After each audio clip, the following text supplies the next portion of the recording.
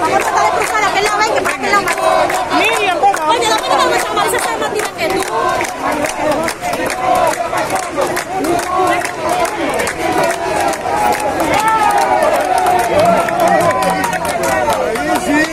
Lo vio, él lo vio, él lo vio. Él no vio, coño, ya se me sacó la mano.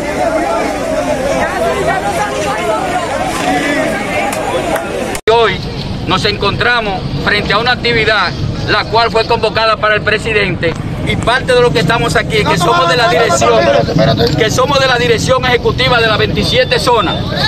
¿Cómo es posible que dentro de nosotros 27 zonas no se nos haya invitado ni el presidente, ni el secretario general, ni los demás funcionarios que trabajamos por un partido para llevarlo al poder? Nosotros trabajamos en la casilla de que era el número 15 y la llevamos a una segunda posición. Y de una segunda posición nos bajamos en cañada contra la voluntad, contra el dinero, contra el atropello del PLD. Y hoy, hoy, más del 65% a nivel nacional está desempleado. Hoy, un municipio de Santo Domingo Oeste, nada más con un 10% de su dirección, está nombrada. ¿Por qué? Porque tenemos un partido que no nos ha protegido a ninguno de los dirigentes que estamos aquí atrás. Hasta ahora nosotros llevamos más de 274 mil perremitas nombrados. Pero usted comprenderá que solamente tenemos cinco meses de gobierno.